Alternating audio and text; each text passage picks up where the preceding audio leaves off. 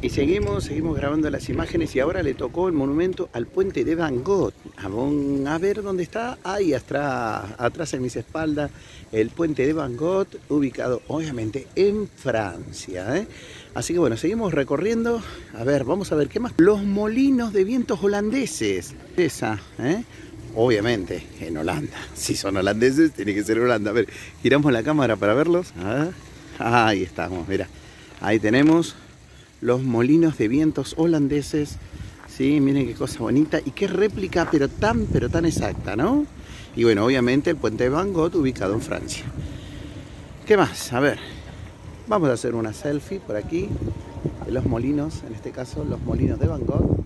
No, perdón, los molinos holandeses. ¿eh? Mostrando, vamos a seguir mostrando por este lado.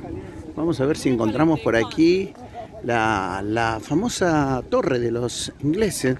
A ver, que en más de una de las películas seguramente la han, visto. Vamos a ir por este lado. Vamos a ir sacando algunas... A ver, vamos a ir sacando algunas fotitos.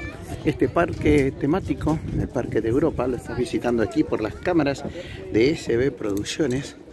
¿Eh? Así que vamos a girar un poquito la cámara para mostrar, para estar ahí en la torre y hacernos una selfie. ¿eh? Así que bueno, seguimos disfrutando ¿eh? de estas imágenes otorgadas por las cámaras de SB Producciones Digitales. Vamos a seguir recorriendo el Parque de Europa y espero que sigan disfrutando de las imágenes tanto como lo estoy disfrutando yo. Seguimos mostrando las distintas partes de este parque hermoso ubicado aquí en España.